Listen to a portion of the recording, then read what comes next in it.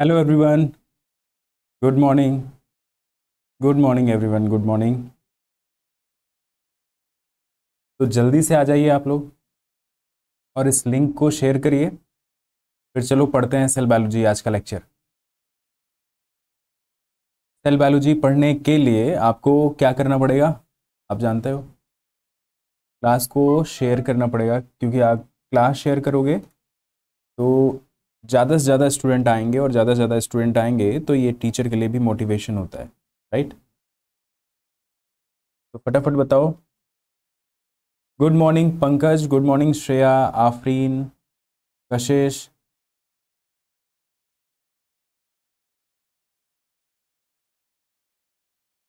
इस creator crash course एक तरीके से इसको ये समझ लीजिए कि ये इंट्रोडक्ट इंट्रोडक्टरी कोर्स है, जिसमें आप आईआईटी जैम के बारे में समझते हो और बेसिकली साइंस के बारे में समझते हो। पता है आपको? सेल बायोलॉजी अभी आप पढ़ोगे, और सेल बायोलॉजी सिर्फ़ पढ़ने के लिए नहीं पढ़ोगे। सेल बायोलॉजी से आपको भी मज़ा आएगा। ठीक है, जब आप पढ़ोगे, तब आप सोचोगे कि इस तरह आपने पहले क्यों नहीं देखा? आकाब गुड मॉर्निंग, गुरुदेव, कह रहे हैं। गुड मॉर्निंग शिष्य हे वत्स स्वागत है तुम्हारा इस प्लेटफॉर्म पर। आगाब लगता है सी एस आर वाले चैनल से हैं। टैब में कंप्लीट हो जाएगा। हाँ बेटा कंप्लीट हो जाएगा। ना। तो आपको क्या करना है? शेयर करना है जल्दी से। और लेक्चर को शेयर करो तो फिर आज का लेक्चर स्टार्ट करते हैं, है ना? और आज आपको बेसिक चीज़ बताएँगे जिसमें, देखो, आप कॉलेज में हो, पढ़ते ज़रूर हो कॉलेज में।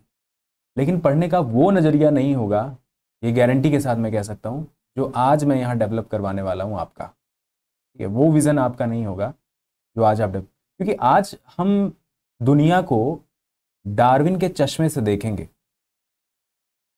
सेल को डार्विन के चश्मे से देखेंगे। हालाँकि डार्विन को सेल के बारे में कुछ नहीं पता था। लेकिन उनको जो कुछ भी पता था, जिसके आधार पर रेवोल्यूशन की इतनी बड़ी थेरी दे दी गई, जिसके आधार पर आज भी चीज़ें काम कर रही हैं, और वो चश्मा हर जगह काम करता है। उसी नज़रिए से हम आज देखेंगे सेल को डिस्कस करेंगे कि क्या ज़रूरत है, किसकी ज़रूरत नहीं है कैसे कैसे कौन कौन सी सेल डेवलप हुई है। ठीक है? Good morning Harsh good morning Yashi तो आईटी जैम के अंदर अभी जो क्या चल रहा है, आप देख सकते हो। कि पी वाई क्यू है और डिटेल्ड वीडियो सोल्यूशन है। ये आपको तो मिल रहा है फ्री में ही, है ना? डिटेल्ड वीडियो सोल्यूशन अभी आपको फ्री में मिल रहा है। सभी इंट्रेंस टेस्ट के लिए। स्कॉलरशिप टेस्ट होती है ये, है ना? जब आप एमएससी में एडमिशन ले रहे होते हो ना वहाँ पर भी आपको स्कॉलरशिप मिल रही होती। है स्कॉलरशिप टेस्ट एग्ज़ाम्स भी हैं। क्या क्या आपको मिल रहा है आईएफएस पर? रिकॉर्डेड लेक्चर्स मिल रहे हैं। स्टडी मटेरियल मिल रहा है सैंपल स्टडी मटेरियल और टॉपर्स स्ट्रेटजी मिल रही है। आप जाइए आई टी के कितने टॉपर हैं, जाकर के सर्च करिए, आपको पता चलेगा। अच्छा आपने ले लिया है। तो क्लासेस अपने टाइम पर स्टार्ट हो जाएँगी, खुशबू। जब आपको जो डेट दी गई है, उस डेट पर क्लासेस स्टार्ट हो जाएँगी। ठीक है? तो आप देख रहे हैं कि इतनी सारी चीज़ें आपको अवेलेबल हैं और आप नहीं जानते अभी भी कि आई आई जैम का क्या है क्यों किया जाता है ये। तो देखो, उसके बारे में भी खूब डिटेल जानकारी इसी चैनल पर मौजूद है। आप उसको जाकर के अवेल कर सकते हो। इसके कई सारे टॉपर्स भी हैं जो आज आईआईसी बैंगलोर में बैठे हुए हैं या कई सारे आईआईटीज़ में बैठे हुए हैं। श्रेया, बेटा गुड मॉर्निंग। अभी आईटी जैम के लिए जो अभी सब्सक्रिप्शन आपको लेना है, वो आप क्या कर सकते हो? बहुत सस्ता है। तीन महीने की ड्यूरेशन प्राइस क्या है? देख रहे हो ऑफ़र प्राइस है अठारह सौ रुपये सिक्स मंथ का सब्सक्रिप्शन लेना चाहते हो तो तीन हज़ार तीन सौ रुपये ट्वेल्व मंथ का लेना चाहते हो तो तीन हज़ार नौ सौ रुपये मात्र। और ट्वेंटी फोर मंथ्स का लेना चाहते हो मतलब मैंने सोचा भी नहीं था कि कोविड आएगा और पढ़ाई इतनी सस्ती हो जाएगी, ये कभी नहीं सोचा था। यही आईआईटी जेएम का कोर्स यही आईआईटी जेएम का कोर्स मेरे ख्याल से अठारह बीस हज़ार में भी बिका है।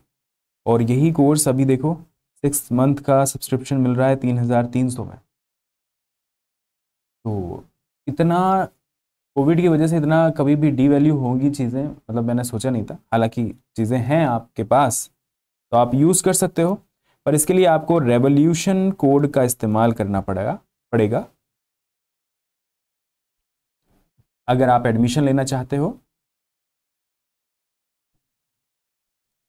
तो आप इसमें एडमिशन ले सकते हो। गेट भी सही है या I I T JAM biotechnology देखो बेटा गेट बी करोगे तब एमएससी में आपको स्कॉलरशिप मिलेगा। आई टी जैम बायोटेक्नोलॉजी करोगे तो आपको कुछ आई मिलेंगे है ना? सेंट्रल यूनिवर्सिटीज़ और आई आपका क्या मकसद है? क्या करना चाहते हो? आगे चल करके रिसर्च करना चाहते हो? किस तरह से करना चाहते हो? सरकार ने बहुत सारी स्कीम चला रखी हैं बस आपको क्या करना है उसको जानना है और तैयारी करनी है बस। सब कुछ। अब ये आ, कहना ठीक नहीं है कि आई टी जैम अच्छा है या गेट बी अच्छा है। आप गेट बी को करना चाहो तो उसको भी कर सकते हो, उसमें भी आपको स्कॉलरशिप मिलती है। आई जैम करना चाहो तो आपको आई मिलेंगे वहाँ पर, है ना? फ़ीस में रिलैक्सेशन होता है, वो भी एक तरीके का बहुत बढ़िया है। आई टी जैम को तो जानते ही हो आईएससी में एडमिशन मिलता है या आई में एडमिशन मिलता है तो ऑब्वियसली तो आप देख सकते हो कहाँ का एंट्रेंस देना चाहते हो, क्या करना चाहते हो। अब देखिए, इन सब के बाद आज की हमारी क्लास अब स्टार्ट होने जा रही है।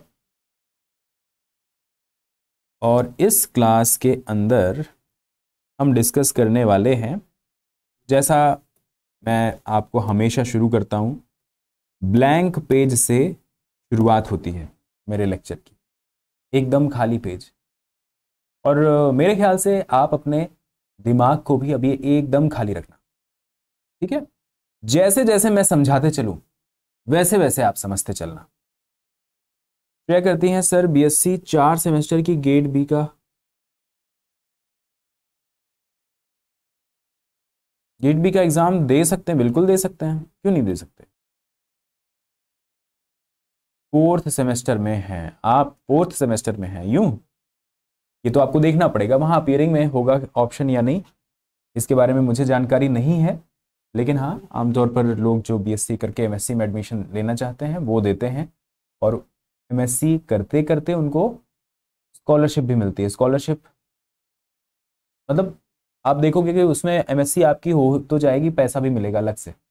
घर वाले अलग से खुश हो जाएँगे। अच्छा सरकार पैसा दे रही है। ये वाली मतलब आपकी फ़ीस तो चलो ठीक ही है आपको खुद को भी खर्चा आपका मिलेगा और सरकार आपको देगी, ये बहुत अच्छी बात है। मिस क्रिएटर कहती हैं, सर रेगुलर क्लास लीजिएगा। अच्छा सर रेगुलर क्लास लीजिएगा? हाँ कम से कम एक हफ़्ते तक तो अभी मैं रेगुलर हूँ।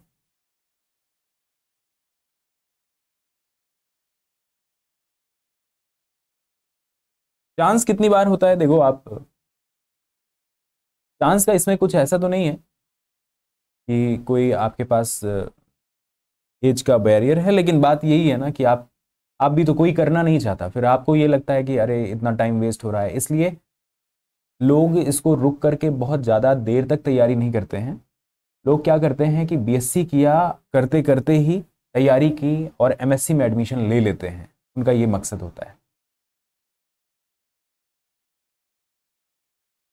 दिव्येशा कह रही है कि, सर, आप बहुत अच्छा पढ़ाते हैं। देखते ही इंटरेस्ट आ जाता है। ओ माय गॉड ठीक है। चलो फिर, चलो पढ़ते हैं फिर। पढ़ें क्या? बताओ।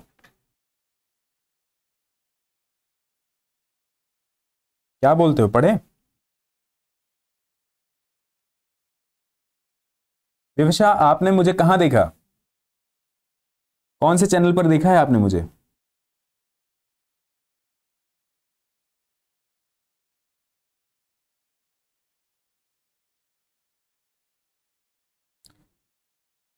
देखो, आज का जो हमारा टॉपिक था, वो था structure of prokaryotic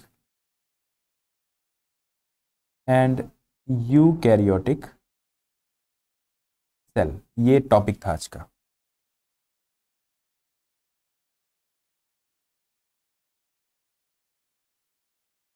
आईएफएस पे। मतलब आईएफएस पे तो ही हूँ मैं, और कहाँ पे हूँ? आईएफएस के कौन से चैनल पे मैंने ये पूछा था? मैं तो आईएफएस पे ही हूँ।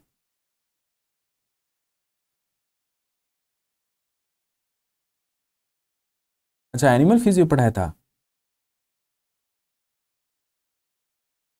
ओ हो। हो देखो, इशिका कह रही है कि एनिमल फिजियोलॉजी आपने पढ़ाया था, बहुत अच्छा पढ़ाया था, और सी के लिए B H U M S C में हो गया।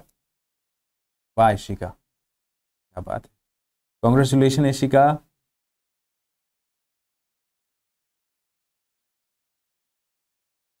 ठीक है ठीक है। आएँगे आएँगे आएँगे। चलो। आएँगे बेटा, आएँगे। पढ़ें। क्या बोलते हो? Structure of prokaryotic and eukaryotic cell अच्छा आप एक काम ये भी करना, पता है? मुझे पता है कि आप आलसी बहुत हो। और जो आलसी शब्द है, आजकल बड़ा फ़ैशन बन चुका है। बना है कि नहीं बना है? सही बात है ना? मतलब अगर कोई कहे अरे, मैं तो बड़ा आलसी हूँ तो उसको लोग मानते हैं ओ मतलब मैं पता नहीं क्या हूँ? ये जो ये जो स्टैंड अप कॉमेडियन है ना, इन कॉमेडियंस ने क्या किया है कि आलसी शब्द को एक फ़ैशन बना दिया है। और उस फ़ैशन के चलते आप बड़ा रिलैक्स महसूस करते हो। मत करो ऐसा, ठीक है? ये सब कहने की बातें उनको इस बात के पैसे मिल रहे हैं, आप हँसते हो। आपको क्या करना है? आपको अगर कोई टैग लगता है कि आलसी हो तो कह दो, नहीं नहीं हूँ भाई। ये मेरी वो उम्र है, जिसमें मैं आलस करने लग जाऊँ तो ज़िंदगी बर्बाद हो जाएगी आगे। आपको आलस करना है तो करो। चालीस साल तक कर लेना आलस, चालीस साल के बाद। अभी नहीं करना है। अगर अभी कर, करने लग जाओगे तो रुक जाओगे। कहीं पहुँच नहीं पाओगे। है ना?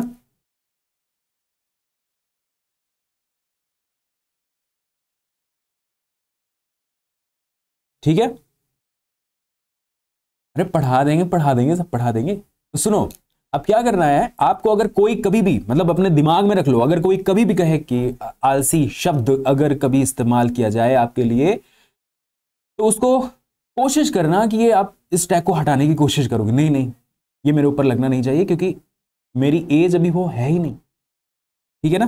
तो इसमें कभी अच्छा फील मत करना, ये आपके लिए एक श्राप की तरह है अगर आपको कोई कह देता है तो बहुत उससे खफा हो जाना, नाराज़ हो जाना कि नहीं, मुझे कह कैसे दिया? ठीक है अच्छा मैं अपनी इमेज तोड़ता अब इस बात के कहने का मेरा मतलब क्या था? मतलब सिर्फ़ इतना था कि आप पढ़ नहीं रहे हो। दूसरी बात, आप शेयर नहीं कर रहे हो। तीसरी बात, जब मैं पढ़ा चुकूँगा तो आपको कमेंट भी करना है बेटा। कमेंट भी करना है। कमेंट करके ये मुझे बताना है कि आज आपको क्या ऐसा नया सीखने को मिल गया जो आपको पहले नहीं पता था। ठीक है? तो अब हम शुरू करेंगे structure of eukaryotic and prokaryotic cell जब हम स्ट्रक्चर की बात करेंगे, शुरू करेंगे, तब आपको मैं थोड़ी एक कहानी में ले जाता हूँ कि topic the origin and evolution of the cell ये कहानी में ले जाता हूँ मैं आपको। Origin and evolution of the cell मतलब आपको यह पहले समझना होगा कि कोई भी सेल या पहली सेल कैसे ओरिजिनेट हुई। सबसे पहले तो यह समझने वाली बात है। दूसरी बात कि एवोल्यूशन में सबसे मेजर स्टेप्स क्या हुए? मतलब सेल जब इवॉल्व हो रही थी इवॉल्व होने का मतलब है कि समय के साथ साथ और बेहतर और बेहतर और बेहतर होती जा रही थी। पहले तो सिंपल टाइप की सेल रही होगी, जो ओरिजिनेट हुई होगी। और फिर वो समय के साथ और बेहतर और बेहतर और बेहतर हो गई कि आज के एनवायरमेंट में भी ठीक तरीके से सर्वाइव कर रही है। तो हम ये कहेंगे कि मेजर स्टेप्स क्या थे एवोल्यूशन के, जो सेल आज के एनवायरमेंट के हिसाब से इतनी बेहतर तरीके से अडेप्टेड है। एक ये बात। फिर हम ये भी देखेंगे कि सेल जब ओरिजिनेट हुई, आगे इवॉल्व होती जा रही थी तो हम देखेंगे कि सेल में कुछ अलग अलग तरीके की सेल्स मतलब डाइवर्स तरीके की सेल्स दिखाई देने लग गई। एवोल्यूशन हो रहा था और इस एवोल्यूशन की प्रोसेस में आगे चल करके सेल कई तरह की बनी। आमतौर पर सेल के एवोल्यूशनरी हिस्ट्री के आधार पर सेल को हम दो भागों में डिवाइड कर देंगे आगे चल करके। सेल दो प्रकार की होती है। और उन दो प्रकार में एक को कहा जाएगा कि प्रोकैरियोटिक सेल है और दूसरी सेल को कहा जाएगा यूकैरियोटिक सेल तो हम क्या देखने वाले हैं? हम देखो, देखेंगे कि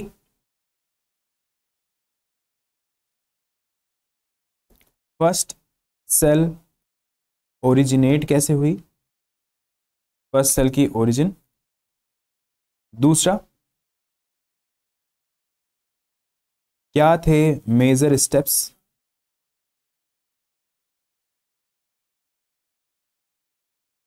Evolution of cell.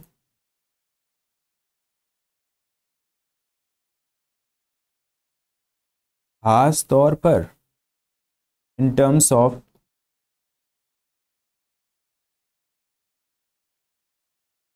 Metabolism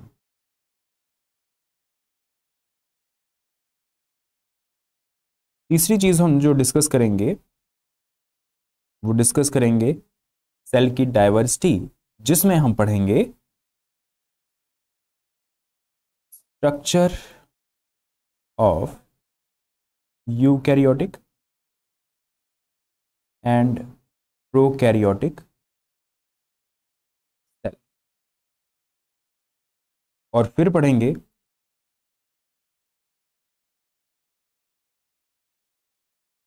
Evolution of eukaryotic and multi cellular organism देखो, ये लेक्चर का आधार है। इस बात को समझ रहे हो? और इसमें आपको कई कहानियाँ सुनने को मिलेंगी। मेरा उद्देश्य ये रहेगा कि आप इन कहानियों को सीखो। एग्ज़ाम के लिए रट्टा मारो रट्टा मारो, उससे बेहतर तो ये है कि एक बार धीरे धीरे समझ लो। और जब धीरे धीरे आप समझ लोगे ना तो कभी बार बार रट्टा मारने की ज़रूरत नहीं पड़ेगी। ज़िंदगी में अगर एक बार कोई चीज़ समझ के पढ़ लिया तो फिर रट्टा मारने की ज़रूरत नहीं पड़ेगी, क्योंकि वो दिमाग में बैठ चुकी होगी। आपको क्या करना होगा, एक ग्राउंड बनाना पड़ेगा, एक आधार बनाना पड़ेगा जिससे कॉन्सेप्ट को बाँध सको। वरना सारे कॉन्सेप्ट बेटा हवा में उड़ते रहेंगे ना, आपने रट लिया, हवा में उड़ते रहे तो फिर वो उड़ ही जाएँगे। और दिमाग का ढक्कन खोल के देखोगे तो कुछ नहीं मिलेगा। इसलिए बेहतर है कि एक बेहतर ग्राउंड तैयार हो, जिससे सारे कॉन्सेप्ट एकदम जुड़े हुए हों। एक ज़मीन तैयार करने की कोशिश है इस सीरीज़ के थ्रू ठीक है? समझो इसको।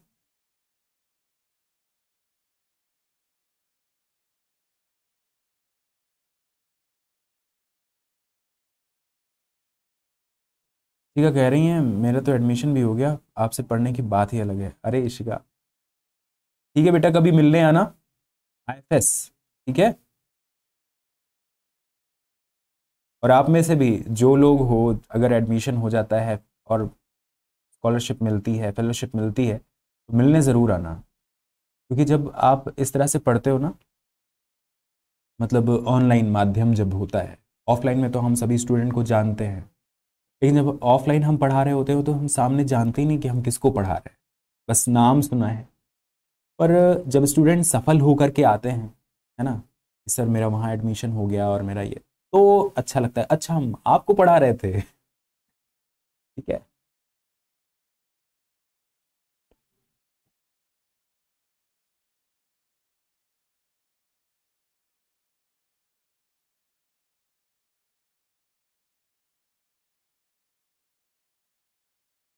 मणिशंकर, बेटा आपका यूनिवर्सिटी मिल जाएगी, ऐसा लग तो रहा है।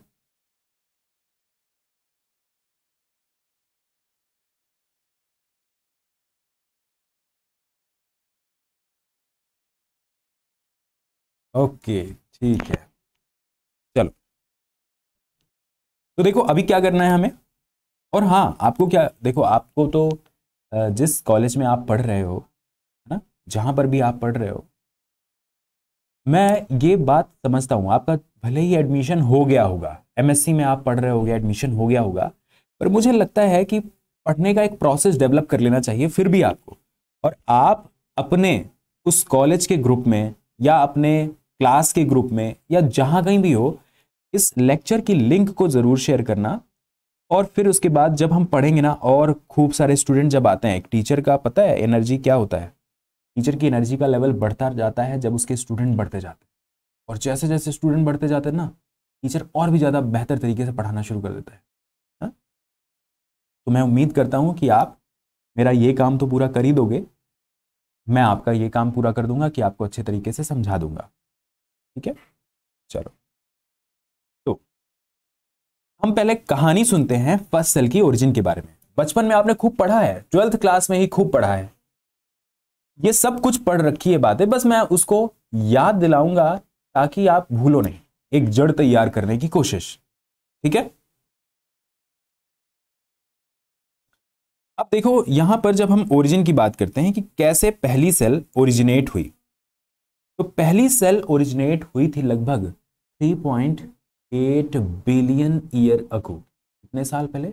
3.8 बिलियन ईयर इसके साक्ष्य, इसके सबूत आज भी पृथ्वी पर मौजूद हैं।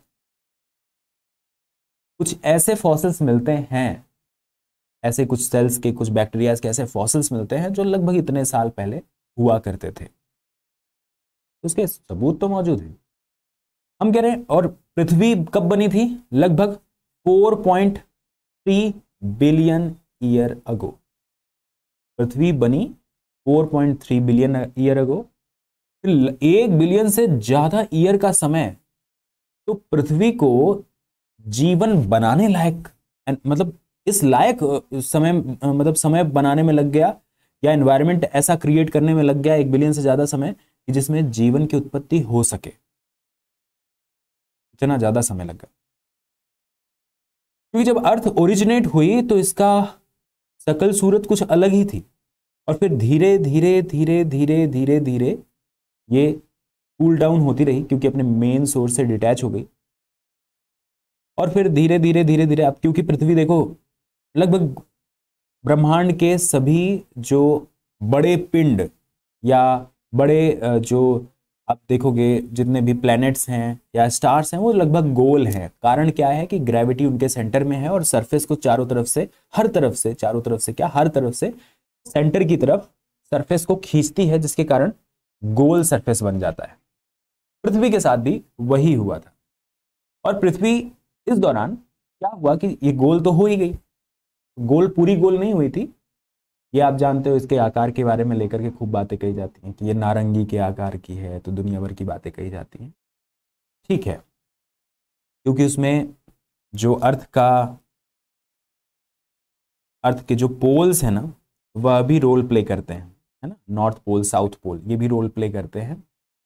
तो पृथ्वी और ग्रेविटी यहाँ पर है, ये तो आप जानते हो। हर तरफ़ से ये अपने सरफेस को अपनी तरफ़ खींचता है। इसके बाद क्या हुआ? पृथ्वी पर अब कोई चीज़, कोई कॉम्प्लेक्स चीज़ बन रही है।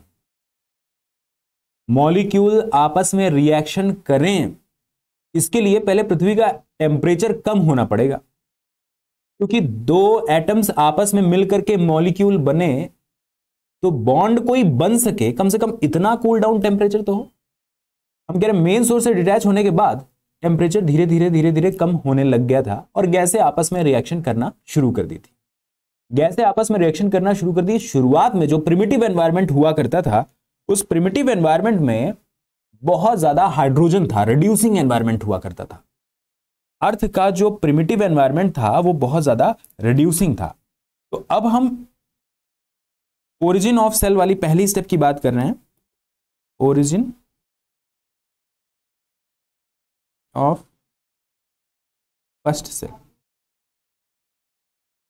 इसमें जो प्रिमिटिव एनवायरमेंट था ऑफ़ अर्थ वो कैसा था? रिड्यूसिंग रिड्यूसिंग का क्या मतलब होता है?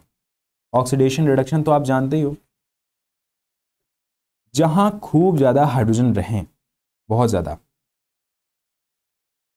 चाहे मेथेन के फॉर्म में खूब ज़्यादा था मेथेन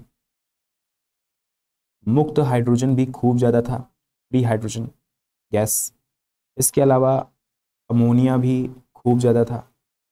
तो ये बहुत ज़्यादा था। और इतने ज़्यादा ये मॉलिक्यूल थे, आप देख रहे हो हर जगह हाइड्रोजन हाइड्रोजन हाइड्रोजन हाइड्रोजन की अधिकता जहाँ पर हो, वो एनवायरमेंट कैसा कहा जाएगा? रिड्यूसिंग अच्छा आज का एनवायरमेंट कैसा है? आज आपको क्या दिखाई देता है? कौन सी गैस सबसे अधिक मात्रा में है? देखो ऑक्सीजन का तो पहले नामो निशान नहीं था। आज का एनवायरमेंट कैसा है? रिड्यूसिंग है या ऑक्सीडाइजिंग है? बताना जरा। कमेंट करके बताओ। आज का एनवायरमेंट कैसा है बेटा? रिड्यूसिंग या ऑक्सीडाइजिंग ऑक्सीडेशन रिडक्शन तो पढ़ रखा है ट्वेल्थ क्लास में। पढ़ रखा है। अब हम जानते हैं ऑक्सीडेशन का मतलब जहाँ ऑक्सीजन ज़्यादा हो, वो एक्टिव हो तो ऑक्सीडेशन होगा वहाँ पर। और जहाँ पर ऑक्सीजन ना हो एच प्लस आयन ज़्यादा हो या हाइड्रोजन ज़्यादा हो तो उसको हम कह देंगे? रिड्यूसिंग आज का एनवायरमेंट कैसा है? कमेंट करके बताना ज़रा। आज का एनवायरमेंट बिल्कुल सही बात है ऑक्सीडाइजिंग एनवायरमेंट और आपको पता है ऑक्सीजन बायोलॉजिकल सिस्टम का भिखारी एटम है इलेक्ट्रॉन का भूखा है। वो किसी से भी इलेक्ट्रॉन छीनने की कोशिश करता है। हर जगह, जिस, जिससे देखो उसी से घूम घूम के इलेक्ट्रॉन मांग रहा है। अरे, तुम दे दो दो इलेक्ट्रॉन अरे यार, तुम दे दो एक इलेक्ट्रॉन अब जिससे देखो उसी से इलेक्ट्रॉन मांग रहा है। यानी खुद ये जा करके किसी का इलेक्ट्रॉन ले लेगा, खुद तो रिड्यूस हो जाएगा, उसको ऑक्सीडाइज कर देगा। ऑक्सीजन जहाँ कहीं भी होगा ऑक्सीडाइज कर देगा।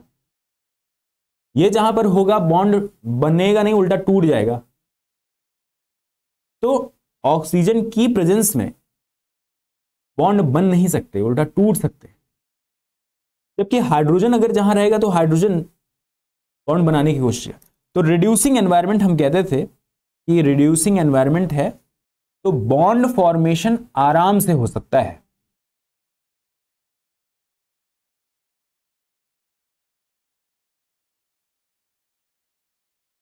फेवरेबल फॉर बॉन्ड फॉर्मेशन दो गैसें आपस में रिएक्शन करती हैं और उनके बीच कोई बॉन्ड बन जाए यह बड़ी आसान बात होती थी पहले प्रिमिटिव एनवायरनमेंट में। और आपने सुना होगा मिलर यूरे मिलर का एक्सपेरिमेंट जो ओपेरियन हार्डेन की हाइपोथेसिस पर बेस्ड था। पहले के लोग कहते थे कि देखो ओरिजिन के बारे में खूब अलग अलग बातें कही गई थी। आ, कई सारे लोग आए आपने पढ़ा होगा। शुरुआत में तो कहा जाता था स्पॉन्टेनियस नहीं स्पॉन्टेनियस थ्योरी के पहले की बात थी। शुरुआत में कहा जाता था कि सात दिन में फादर सुआरेज वो कहते थे चर्च के थे और वो कहते थे कि सात दिन में पृथ्वी बन गई है अर्थ बन गया और ह्यूमन बन गए पेड़ पौधे बन गए, सारे जानवर बन गए, सात दिन के अंदर पूरे सृष्टि की रचना हुई। तो जो हिंदू माइथोलॉजी है, वो अलग कहानी कहती है, बताती है, ब्रह्मा जी ऐसा ऐसा हुआ। अलग अलग जो माइथोलॉजिकल जो बुक्स होती थी, वो अलग अलग बात कहती थी। लेकिन बाद में रैशनल थिंकिंग जब शुरू हुई ना रैशनल थिंकिंग शुरू हुई, लोग सोचना शुरू कर दिए तो लोग अपने अपने हिसाब से अलग अलग वैज्ञानिक अलग अलग बातें बताने लगे। उनमें से एक थे वॉन हेलमॉन जो स्पॉन्टेनियस थ्योरी ऑफ़ जनरेशन के समर्थक थे, वो कहते थे कि लाइफ अपने आप ओरिजिनेट हो सकती है, लेकिन इस लड़ाई में बार बार उनको बहुत क्रिटिसिज्म झेलना पड़ा और बाद में आया कि नहीं लाइफ तो लाइफ से ही ओरिजिन होगी। सेल जो है every cell comes from its pre existing cell इस बारे में खूब जानकारी दी गई, बहुत सारे एविडेंसेस मिले। बाद में पता चला कि अगर हर सेल प्री एग्जिस्टिंग सेल से आती है तो पहली सेल कहाँ से आई हुई पहली सेल के बनने के बारे में क्या ख्याल है? तब जो है शुरू हुई रिसर्च। और पहली सेल कैसे बनी, उसके बारे में बात कही जाने लगी। और फिर पता चला कि ये जो केमिकल थियरी ऑफ़ एवोल्यूशन था, या ऑर्गेनिक एवोल्यूशन जो थियरी थी, वो एग्जिस्टेंस में आई। ओपेरिन हार्डेन थे। उन्होंने बताया कि किस तरह का एनवायरनमेंट रहा होगा, प्रिमेटिव एनवायरनमेंट। और इस तरह के एनवायरनमेंट में फिर कैसे ऑर्गेनिक मॉलिक्यूल रिएक्शन करके कॉम्प्लेक्स ऑर्गेनिक मॉलिक्यूल बने होंगे, जिसके कारण सेल की ओरिजिन हुई या सेल बना। तो अबायोटिक चीज़ से कोई बायोटिक चीज़ बन गई। पर यह तो हाइपोथेसिस थी, और हाइपोथेसिस का मतलब आप समझते हो? हाइपोथेसिस का मतलब कि कोई मनगढ़ंत कहानी कि ऐसा हुआ होगा तो ऐसा होगा। ऐसी चीज़। है ये एक्सपेरिमेंटल प्रूफ नहीं था। पर ओपेरिन हार्डेन की हाइपोथेसिस को यूरे मिलर ने एक्सपेरिमेंटली प्रूव कर दिया और उन्होंने साबित कर दिया कि ओपेरिन हार्डेन सही कह रहे हैं।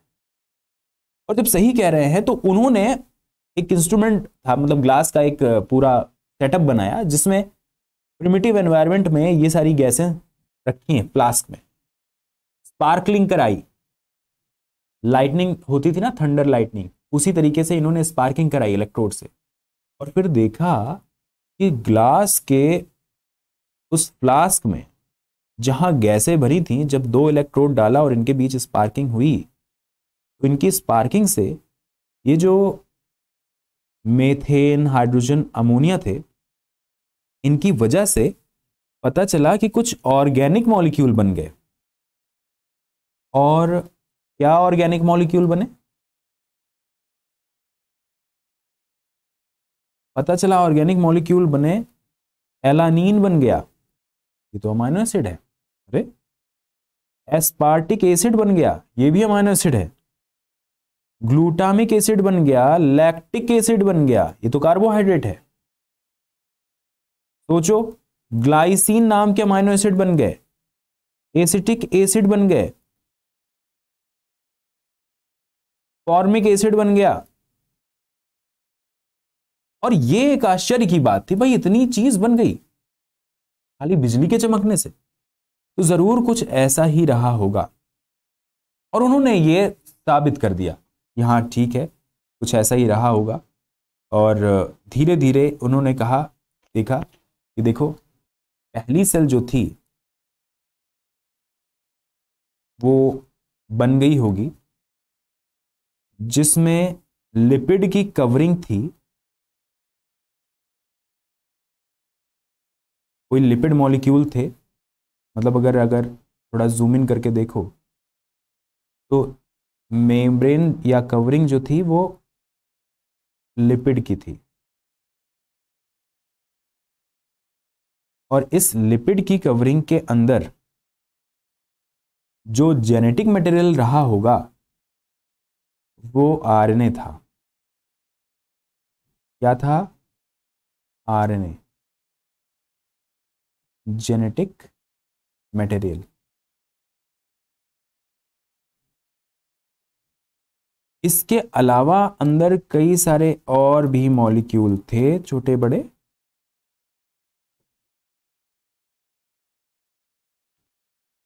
ठीक है? हेलो सोनाली। तो इन्होंने कहा कि ये जेनेटिक मटेरियल था आरएनए और आरएनए क्यों? लोगों ने कहा कि पहला जेनेटिक मटेरियल आरएनए ही क्यों? तो फिर इसको बताया गया इसलिए क्योंकि देखो डीएनए से डीएनए बन जाए। डीएनए से डीएनए बनने की प्रक्रिया को क्या कहा जाता है? डीएनए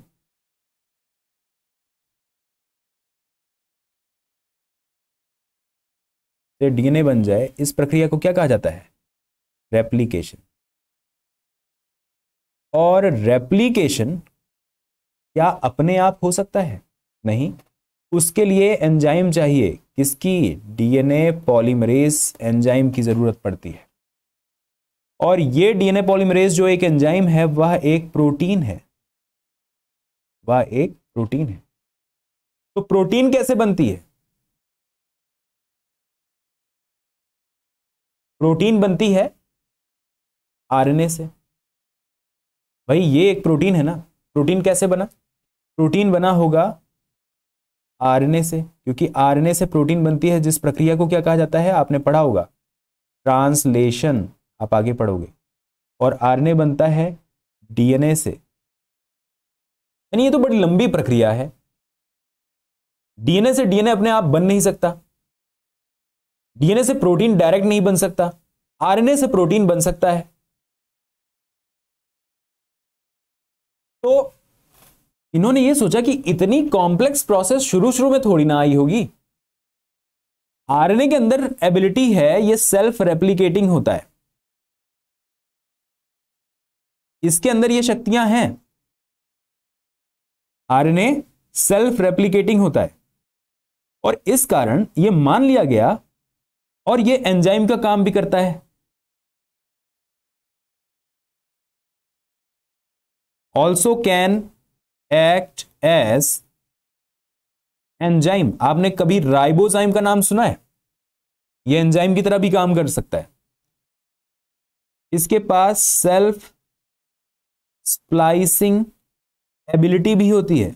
बहुत सारे काम करते करता है आरएनए इतने सारे काम अकेले कर लेता है, इसको किसी की ज़रूरत ही नहीं है। इसका मतलब है कि बिना एंजाइम की मदद के ये अपने सारे काम खुद ही करने की एबिलिटी जब इसके अंदर है तो पहला जेनेटिक मटेरियल यही रहा होगा। इसको कहा जाता है RNA world theory RNA world hypothesis basically कहा जाता है, जिसमें यह कहा गया कि जो पहला मॉलिक्यूल था जेनेटिक मटेरियल था, वह कौन सा था? आरएनए ही था। क्योंकि आरएनए के अंदर इतनी सारी शक्तियाँ हैं, उसको किसी के, किसी एंजाइम के सहारे की ज़रूरत नहीं है।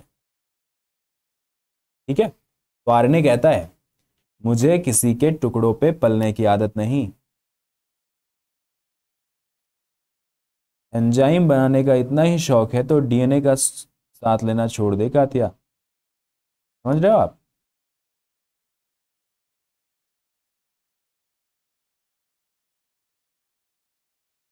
बेचारा डीएनए। शुरुआत में तो इसकी कोई अहमियत ही नहीं थी।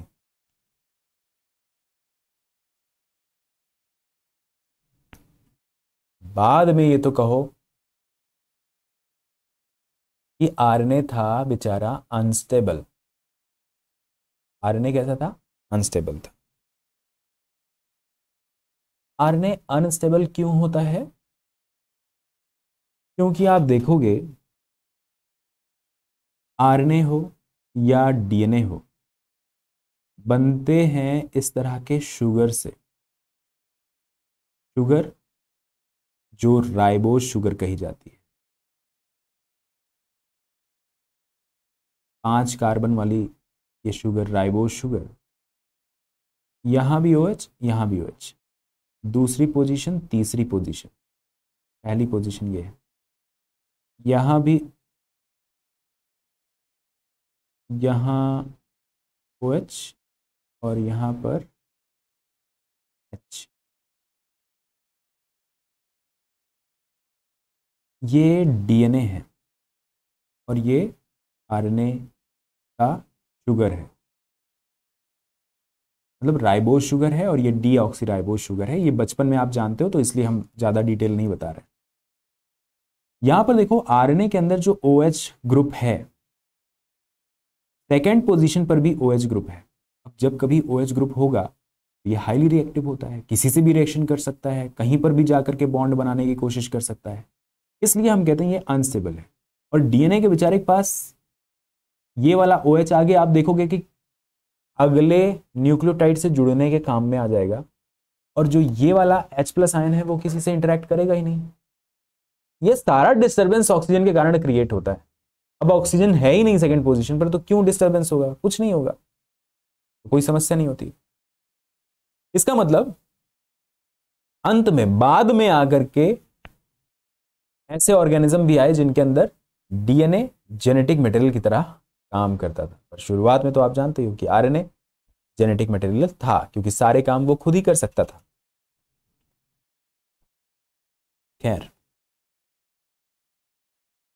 ये सब बात याद रखना अच्छा? क्योंकि याद रखोगे तो एक कहानी आपको पता होगी। कहानी पता होगी तो ज्ञानी कहलाओगे, ज्ञानी। किसी भी कॉन्सेप्ट के पीछे अगर कहानी अगर आपको पता रहती है तो ज्ञानी कहलाते हो।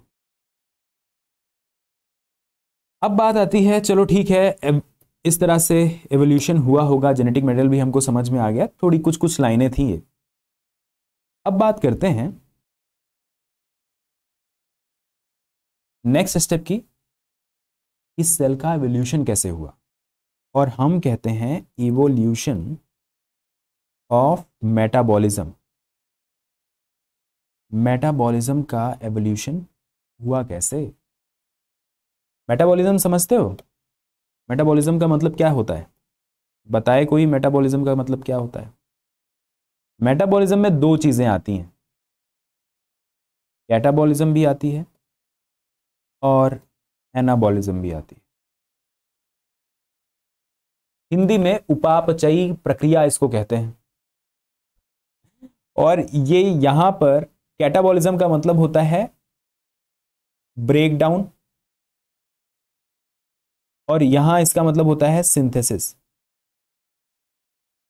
ऐसी रिएक्शन जिसमें कुछ ब्रेकडाउन चलता है, उसको कैटाबॉलिज्म और जिसमें कुछ सिंथेसाइज होता है, उसको एनाबोलिज्म और अगर इसको दोनों को जोड़ करके देखा जाए ब्रेकडाउन या सेंसेस इन दोनों को मिला करके देखा जाए, बात की जाए तो उसको क्या कहेंगे? मेटाबॉलिज्म आपके सेल के अंदर कार्बोहाइड्रेट को तोड़ने वाली प्रक्रिया भी चल रही है. शुगर को तोड़ने वाली ग्लूकोज को तोड़ देने वाली प्रक्रिया भी चल रही है. ग्लूकोज को तोड़ने वाली प्रक्रिया को क्या कहते हैं? चलो बताओ. कोई एक रिएक्शन ऐसी बताओ, जहाँ ग्लूकोज को तोड़ दिया जाता हो. एक सिंपल सी, सरल सी। तोड़ने को अंग्रेज़ी में क्या कहा जाता है? वैज्ञानिक भाषा में। लाइसिस तो जहाँ ग्लूकोज की लाइसिस होती हो, उस प्रक्रिया का नाम बताइए। उस प्रोसेस का क्या नाम है? जल्दी से बताओ। ऐसी कोई रिएक्शन जानते हो? ऐसे कोई एग्ज़ाम्पल जानते हो? जो सेल के अंदर हो रही हो इसमें ग्लूकोज का ब्रेकडाउन या ग्लूकोज की लाइसिस चले। बताओ बताओ।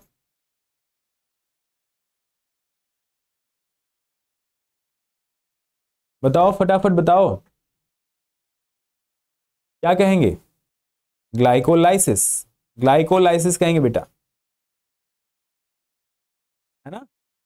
ग्लूकोज का ब्रेकडाउन क्या कहलाता है? ग्लाइकोलाइसिस। सिंपल सी बात निकली? बहुत सिंपल सी। Glycolysis obviously good afternoon Savita ठीक है? ये कितना आसान है? और जहाँ पर कार्बोहाइड्रेट बन रहा हो, कोई ऐसी प्रक्रिया बताओ, कोई ऐसी बायोलॉजिकल रिएक्शन बताओ, जहाँ पर कार्बोहाइड्रेट सिंथेसाइज किए जा रहे हो। किसी भी ऑर्गेनिज्म में आप बता सकते हो?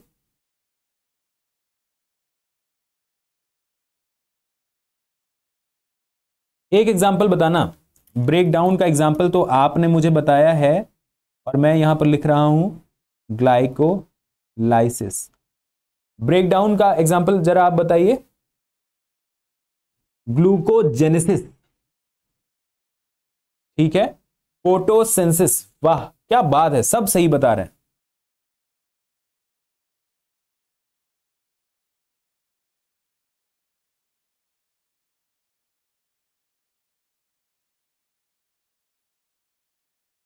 एकदम सही है। विकास कहते हैं रिस्पायरेशन। नहीं बेटा, विकास। रिस्पायरेशन जो आप कहते हो ना, रिस्पायरेशन में आप देखोगे कि सब ब्रेकडाउन वाली बातें चलेंगी। रिस्पायरेशन में तो ऑक्सीजन का इस्तेमाल करके ग्लूकोज को तोड़ दिया जाएगा और वहाँ से एनर्जी निकाल ली जाएगी एटीपी बना ली जाएगी। तो वो तो प्रोसेस अलग है। और रिस्पायरेशन में ज़्यादातर ब्रेकडाउन ब्रेकडाउन ब्रेकडाउन होता है। सिंथेसिस नहीं होती है। ठीक है? खैर, अब जब हमने कहा, जब आपने, जब कैटाबॉलिज्म की बात आई तो आपने बता दिया ग्लाइकोलाइसिस जब सेंसिस की बात आई तो आपने बता दिया फोटोसेंसिस ग्लूकोजेनेसिस ठीक है? और ऐसे कई सारे ग्लूकोनियोजेनेसिस है।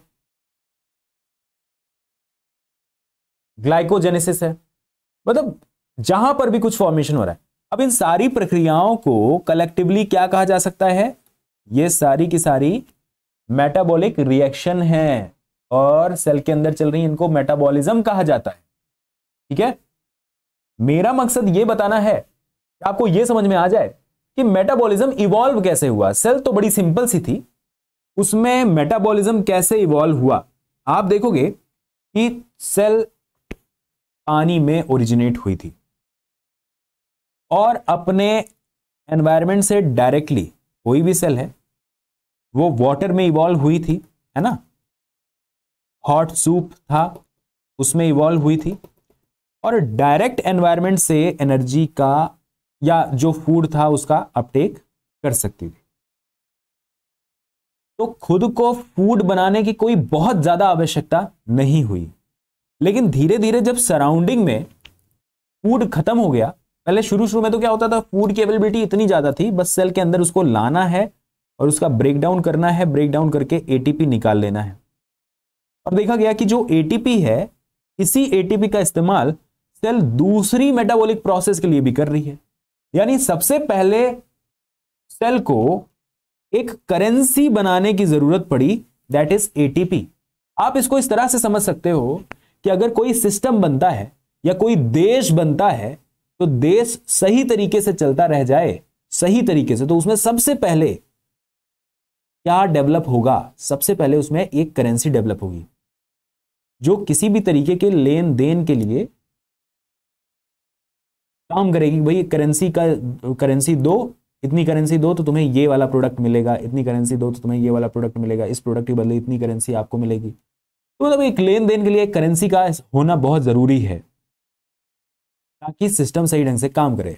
सेल के अंदर भी यही था।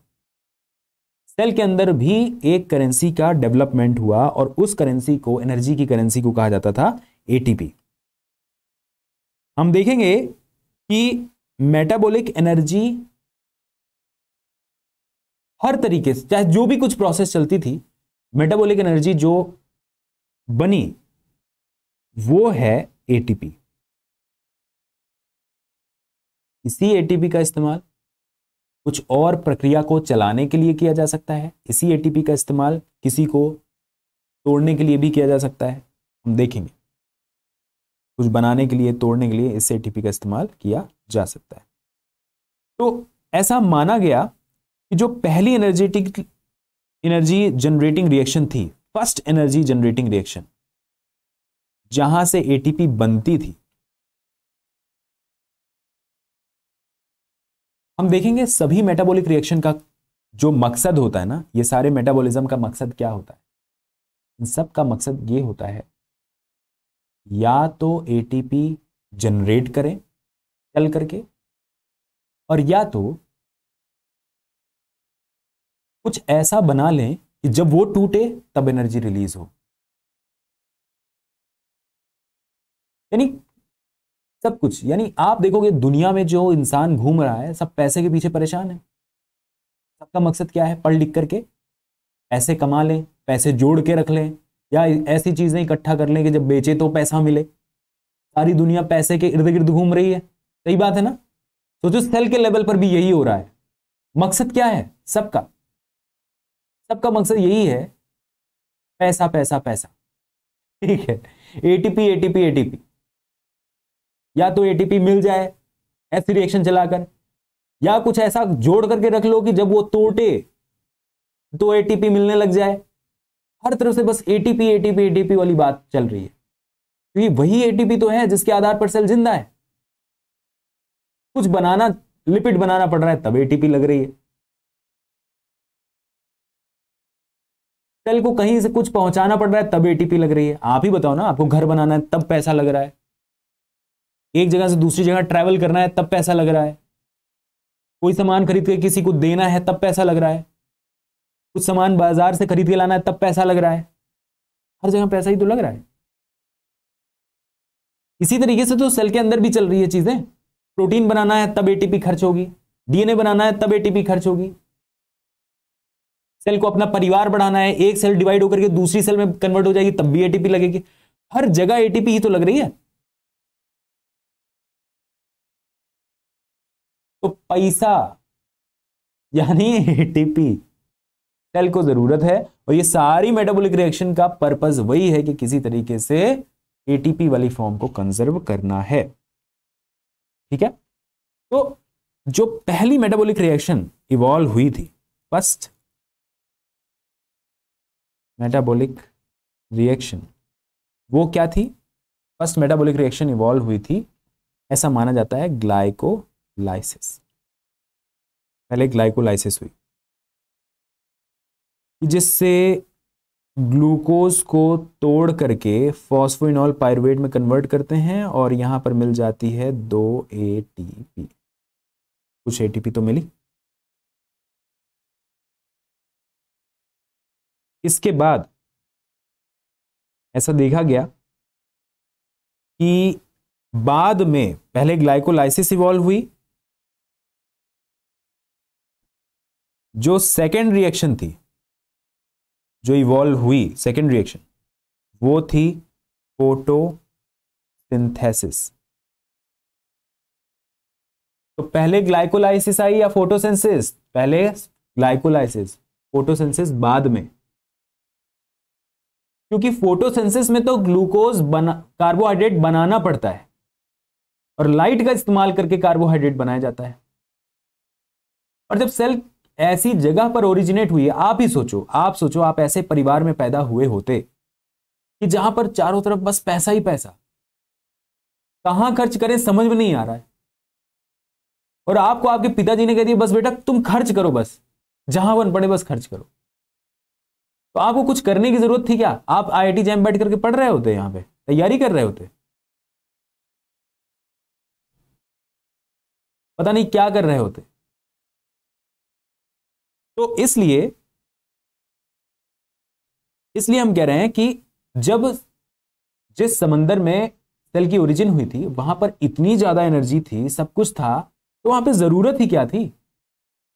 वहाँ पे ज़रूरत क्या थी? कोई चीज़ बनाने की स्टोर करने की एटीपी खर्च करके, कुछ नहीं। वहाँ पर तो बस जो बना बनाया है, उसको अपटेक करो। सराउंडिंग से अपटेक करो फ़ूड को और बस तोड़ो। बस अपना काम करो, बस, और कुछ ज़रूरत नहीं।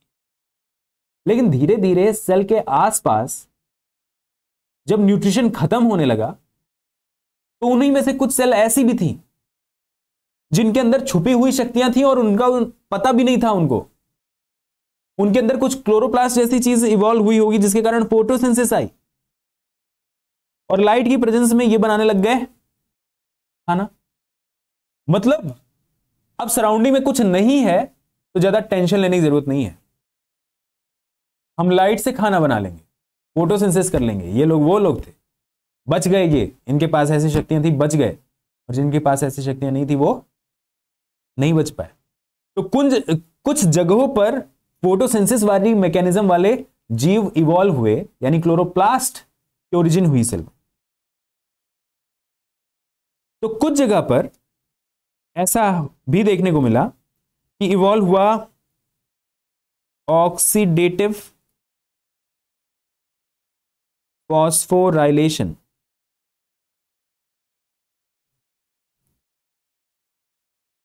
Oxidative phosphorylation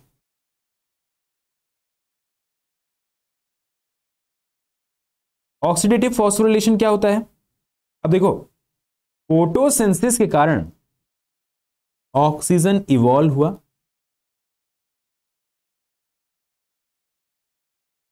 अरे, आपसे, चलो मैं एक पहले थर्ड है ये कि नहीं, ये अभी मैं नहीं जानता। ठीक है, अभी मैं नहीं जानता। आपसे अगर मैं पूछूँ, आपसे मैं पूछना चाहता हूँ सेकंड या थर्ड आपसे मैं ये पूछना चाहता हूँ कि बताओ सेकंड नंबर और थर्ड नंबर पर कौन ओरिजिनेट हुआ होगा? माइटोकॉन्ड्रिया पहले आए या क्लोरोप्लास्ट पहले आए? माइटोकॉन्ड्रिया पहले आए होंगे या क्लोरोप्लास्ट? आपको मैच करना होगा। बताओ, माइटोकॉन्ड्रिया के आगे क्या लिखूं और क्लोरोप्लास्ट के आगे क्या लिखूं? सेकंड लिखूं या थर्ड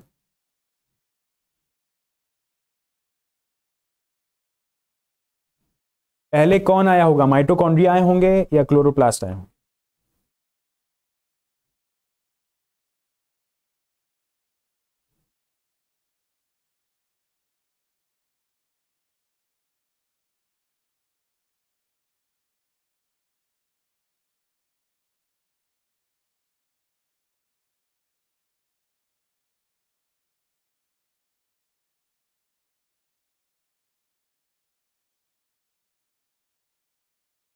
देखो, अब वैज्ञानिक वाला दिमाग लगा रहे हो। वेरी गुड वेरी गुड शाबाश बेटा।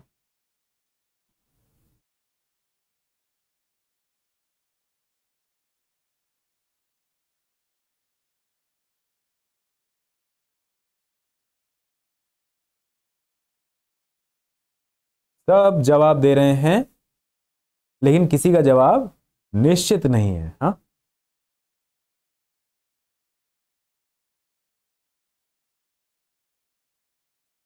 देख रहे हो? प्रो कैरियोट यू कैरियोट यूँ ही नहीं पहुँच जाओगे। पहले सेल बन रही है इधर। ऐसे नहीं कि सर आए और सीधा प्रो कैरियोट बनाना डायग्राम बनाना शुरू कर देंगे। ये रहा प्रो कैरियोट ये रहा यू कैरियोट ऐसा नहीं होने वाला। देख रहे सोचने पर मजबूर किया जाएगा यहाँ पर आपको। तड़पाया जाएगा आपके दिमाग को। बताओ, क्या हुआ पहले? और यहाँ पर आप ऐसे खूब उत्तर लिखोगे। Mitochondria, chloroplast. Mitochondria, chloroplast. चलो, देखते हैं। ठीक है, उत्तर बताना। मैं एक प्रश्न वापस पूछता हूँ। प्रश्न पर प्रश्न उत्तर बिना जाने पहले एक प्रश्न और पूछूँगा, फिर उसके बाद खुद ही आपको समझ में आ जाएगा, जो आप अलग अलग उत्तर दे रहे हो। आप मुझे ये बताओ, माइटोकॉन्ड्रिया में कौन सी मेटाबॉलिक प्रोसेस चलती है? उत्तर दो जरा जल्दी से। माइटोकॉन्ड्रिया में कौन सी प्रोसेस चलती है?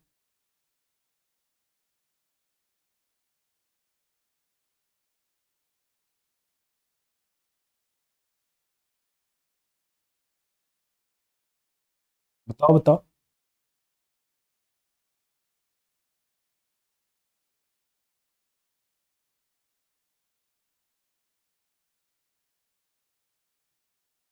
ईसीएच e साइकिल चलती है और एटीपी जनरेट होती है ना? क्रेप साइकिल ठीक है क्रेप साइकिल टीसीएच चलती है। एटीपी जनरेट करने वाली, जो सबसे ज़्यादा एटीपी जनरेट करे ठीक है।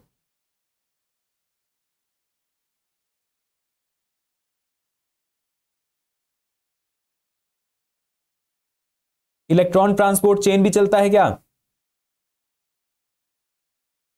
ईटीएस भी चलती है?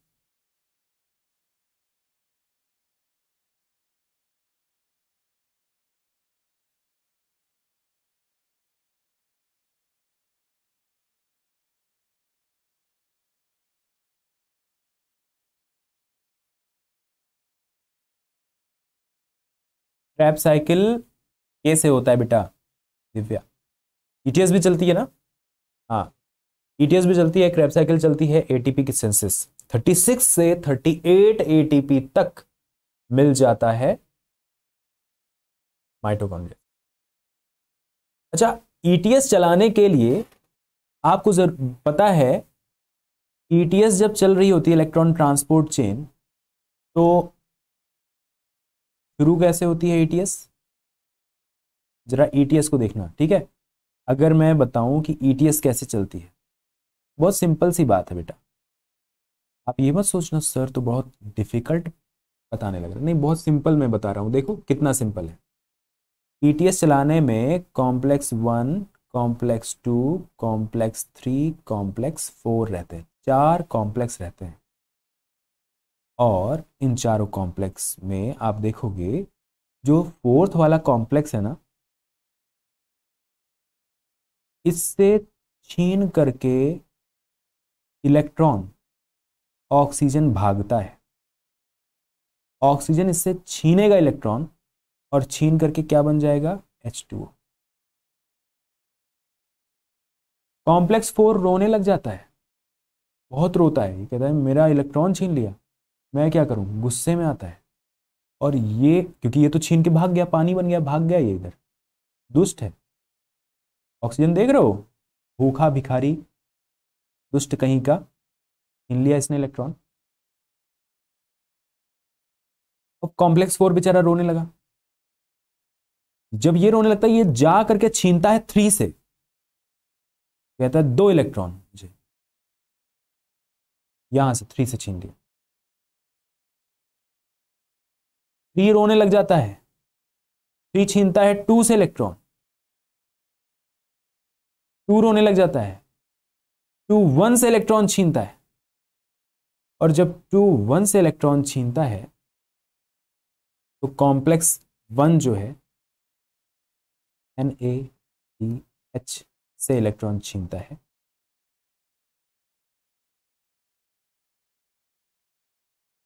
ठीक है? ये इससे छीन लेता है। अब आप देख रहे हो? ऑक्सीजन ने इलेक्ट्रॉन को छीना, तब जाकर के इलेक्ट्रॉन फोर, कॉम्प्लेक्स फोर ने थ्री से छीना, थ्री ने टू से, टू ने वन से। और इस चक्कर में जानते हो?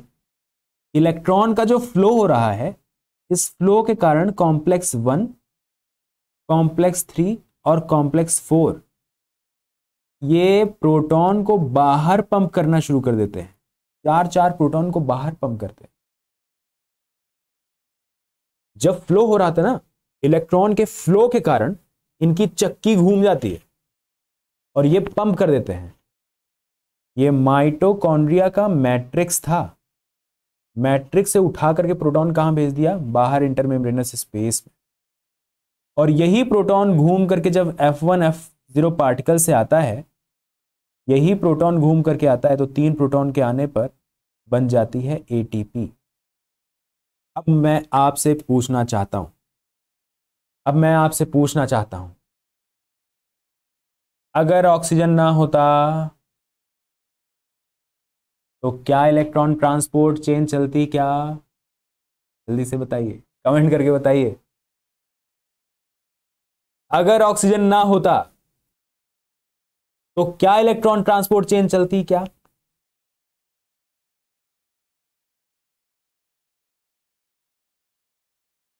जल्दी से बताइए। अगर ऑक्सीजन ने कॉम्प्लेक्स फोर से छीना ना होता इलेक्ट्रॉन तो क्या इलेक्ट्रॉन ट्रांसपोर्ट चलती, क्या? नहीं चलती। Exactly exactly. मित्रों, मैं ये आपसे पूछना चाहता हूँ। मैं ये आपसे पूछना चाहता हूँ कि इलेक्ट्रॉन ये ऑक्सीजन आया कहाँ से? ये ऑक्सीजन कहाँ से आया? क्योंकि प्रिमिटिव एनवायरनमेंट में ऑक्सीजन नहीं हुआ करती थी। ठीक है? तो प्रिमिटिव एनवायरनमेंट में ऑक्सीजन हुआ ही नहीं करती थी। वहाँ तो अमोनिया दिखाई दे रहा है। वहाँ पर आपको अमोनियम गैस दिखाई दे रही है। वहाँ पर आपको मेथेन दिखाई दे रही है। वहाँ पर आपको हाइड्रोजन दिखाई दे रही है। लेकिन वहाँ पर आपको ऑक्सीजन नहीं दिखाई दी थी। ऑक्सीजन आई कहाँ से मैं ये आपसे पूछना चाहता हूँ? ऑक्सीजन कहाँ से आई? ऑक्सीजन फोटोसेंसिस से आई दोस्तों फोटोसेंसिस ऑक्सीजन कहाँ से आई? ऑक्सीजन आई फोटोसिंथेसिस से। यानी ऑक्सीजन आई तब जाकर के माइटोकॉन्ड्रिया आया। ऑक्सीजन पहले आई तब जाकर के माइटोकॉन्ड्रिया आया होगा। आया होगा कि नहीं आया होगा?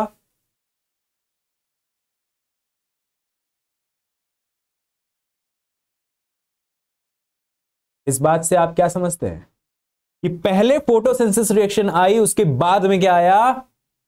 ऑक्सीडेटिव, इसको कहा जाता है ऑक्सीडेटिव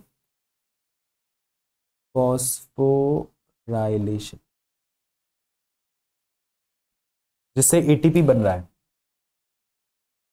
तो पहले फोटोसिंथेसिस आई और तब जाकर के फिर माइटोकॉन्ड्रिया अस्तित्व में आया, तब जाकर के एटीएस चलना शुरू हुई, तब जाकर के ऑक्सीडेटिव फॉस्फोलेशन आया।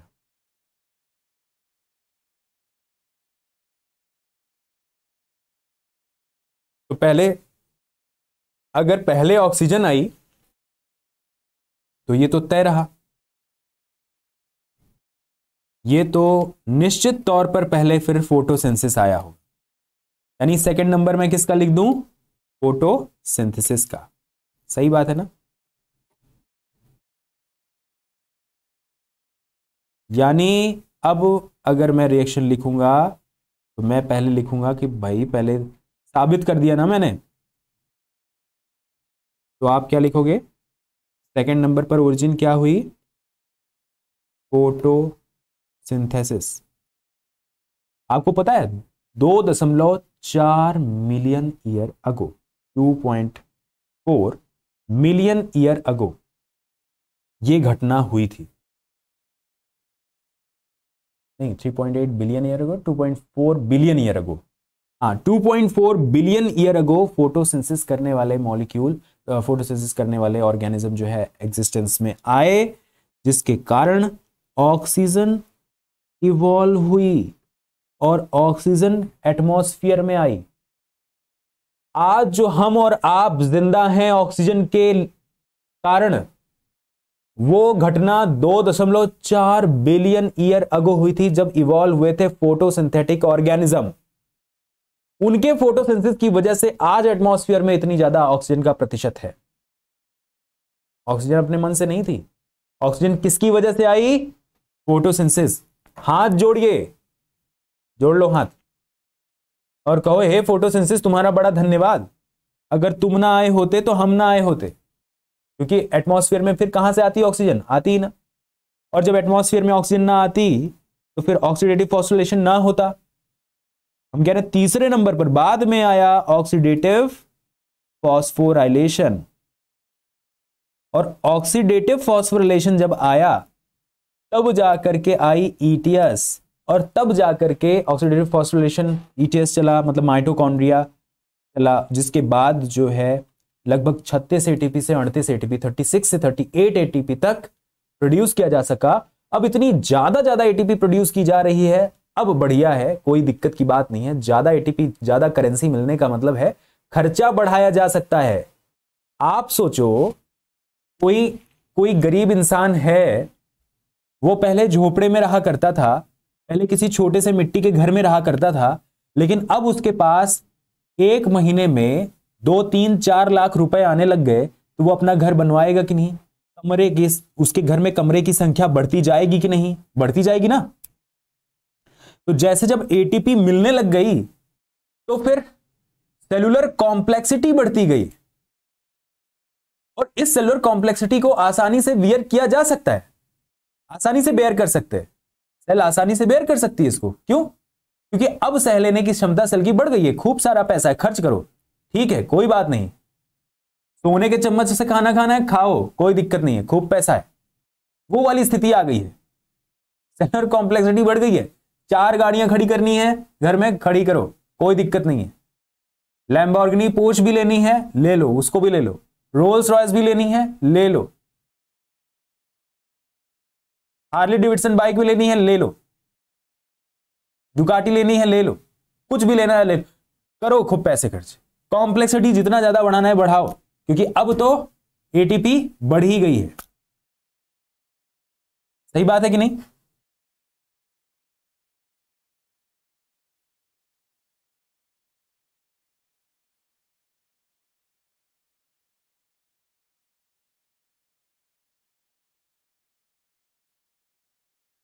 नाउ अब देखिए, अगर मान लीजिए आपको ये जो बताया गया है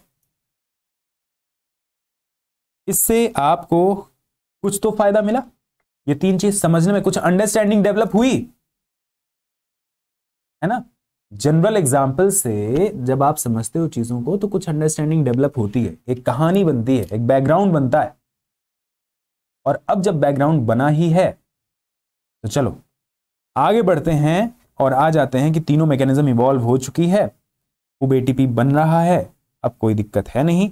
अब हम पढ़ते हैं प्रिमिटिव टाइप के ऑर्गेनिज्म को, जो सबसे पहले इस्तेमाल हुए। जो सेल हैं, पाई जाती हैं, वो जो प्रिमिटिव टाइप की थी, वो तो अलग सी थी, लेकिन धीरे धीरे जब उनकी कॉम्प्लेक्सिटी हल्की फुल्की बढ़ने लग गई तो देखते हैं। अस्तित्व में पहले आए प्रोकैरियोट प्रोकैरियोट्स है प्रोकैरियोट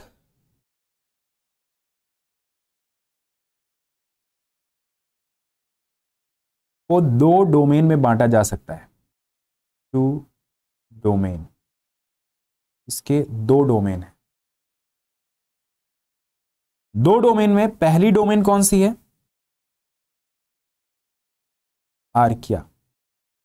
दूसरी कौन सी है? यू बैक्टीरिया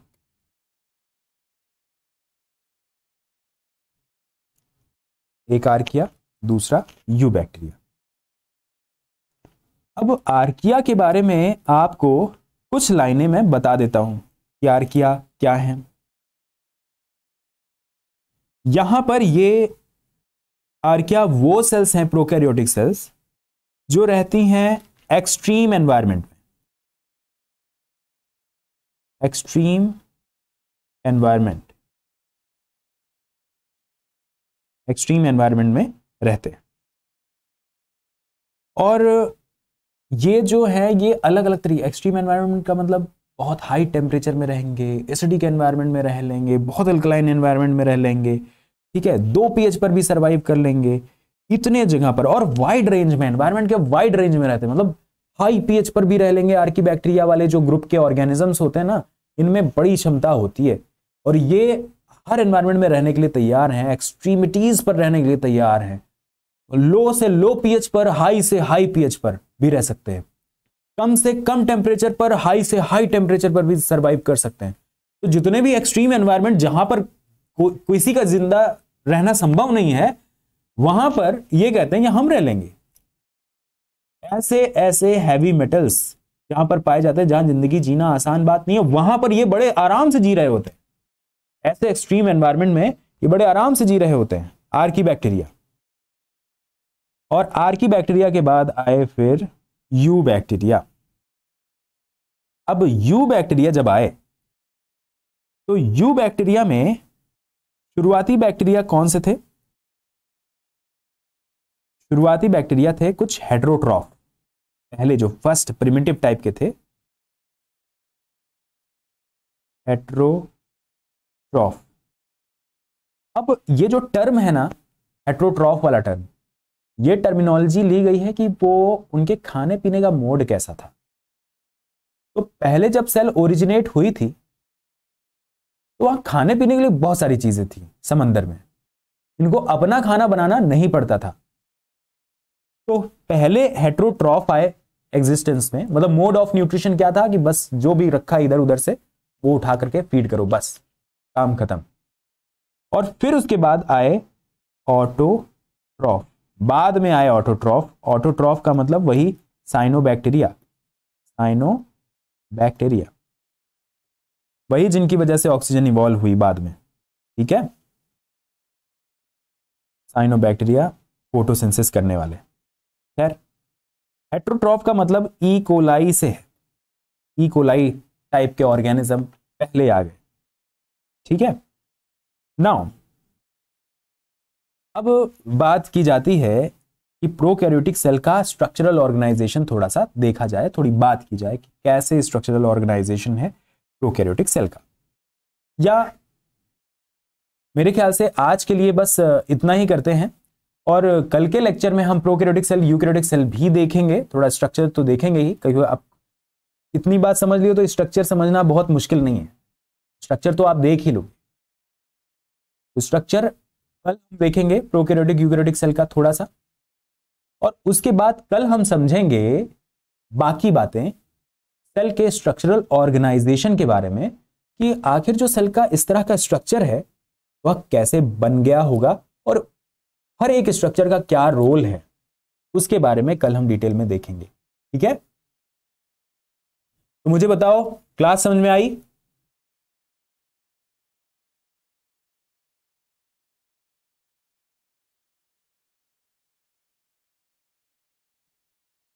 बिल्कुल बिल्कुल।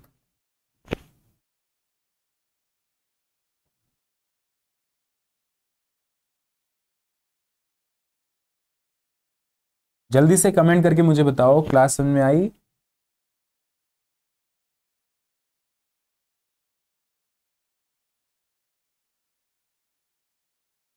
दिव्या कहते हैं, विकास कहते हैं हाँ समझ में आ गई। सयाली तो कहती हैं, आज ही कंटिन्यू कर दीजिए सर।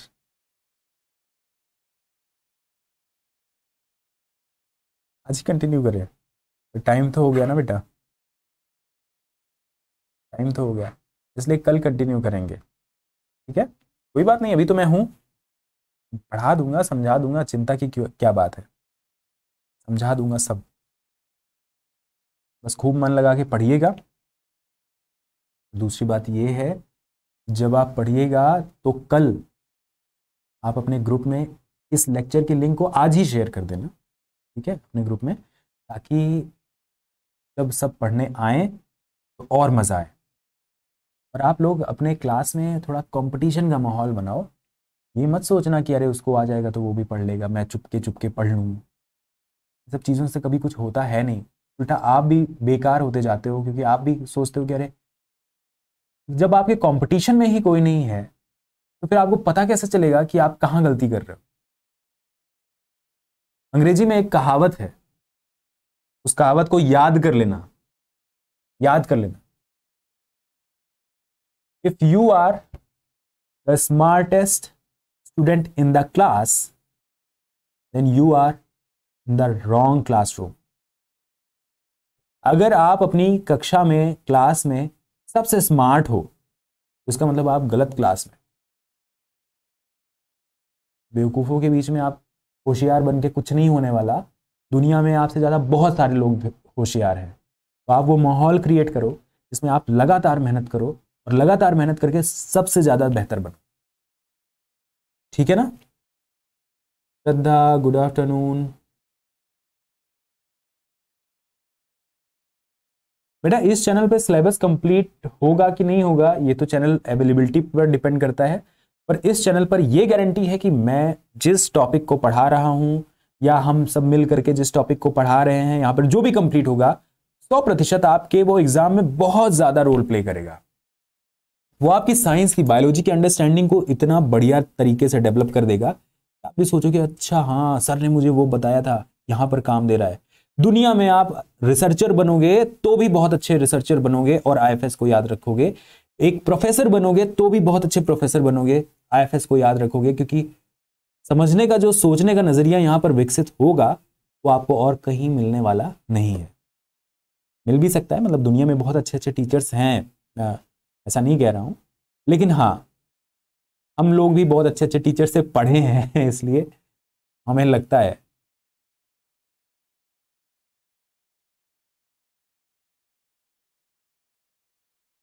वही तो कंपटीशन में स्मार्टनेस पता चलती है। तो कल इसको शेयर ज़रूर करना और अपने दोस्तों से कह देना कि इस टाइम पर ये क्लास चलती है, चलो ज्वाइन करेंगे, चलो नोट्स बनाएँगे साथ में और फिर एक दूसरे से बातचीत करके पूछा जाएगा कि चलो बताओ तुम अच्छा बताओ सर ने ये बताया था, बताओ क्या होता है। ऐसा जब करके एक माहौल क्रिएट करोगे ना, जब पढ़ना शुरू करोगे ना, तब मज़ा आएगा। तब मज़ा आएगा, तब और नई नई चीज़, अरे ये इतना कैसे जान गया मुझे, और जानना है, मुझे और जानना है। वो जब कंपटीशन होता है ना, तभी तो पढ़ने में मज़ा आती है। कंपटीशन क्रिएट करो।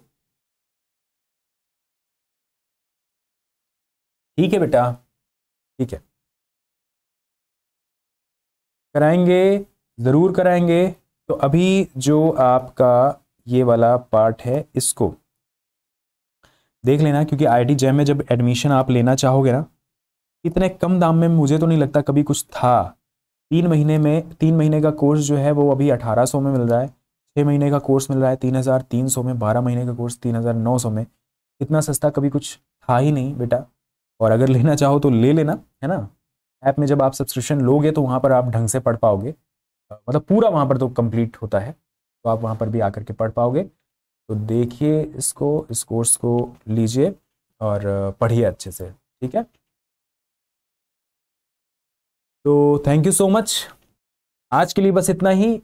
अब हम आगे की क्लास में कल मिलेंगे, कल बताएँगे आपको और कहानी और बहुत सारी बातें हैं बताने को। तो कल मिलते हैं, कल बताते हैं, कल आइएगा ज़रूर और अपने दोस्तों को लेकर आइएगा। सब आएँ क्लास करें। नोट्स आप लोग बनाओ और नोट्स बना के कॉम्पिटिशन करो। ठीक है? मैं भी यहाँ पर आपको देता हूँ। और हाँ कॉन्टेस्ट के क्वेश्चन सॉल्व करना मत भूलना। अभी कॉन्टेस्ट होने वाला है। आप जाना वेबसाइट पर जाना कॉन्टेस्ट देखना कॉन्टेस्ट में क्वेश्चन रहेंगे, पाँच सवाल। और मैं कल आकर के देखूँगा कि किन किन लोगों ने क्वेश्चन का सही सही आंसर दिया है। क्वेश्चन थोड़े टफ रखे जाएँगे। देखते हैं। ठीक है? तनुजा कहती हैं कि, sir I am new student Tanuja, स्वागत है बेटा आपका। तनुजा, आज का लेक्चर पढ़ना ज़रूर बेटा। पुरानी चीज़ें आपको थोड़ी याद आएँगी। और नई चीज़ें बहुत सारी पता चलेंगी। और सोचने, समझने का नज़रिया विकसित हो जाएगा, फिर आप अच्छे से पढ़ने लग जाओगे। ठीक है? क्लास किस टाइम होती है? क्लास होती है 11 बजे से। ठीक है? अभी उसका टाइमिंग 11:30 हो जाएगा तो साढ़े ग्यारह बजे से क्लास होगी।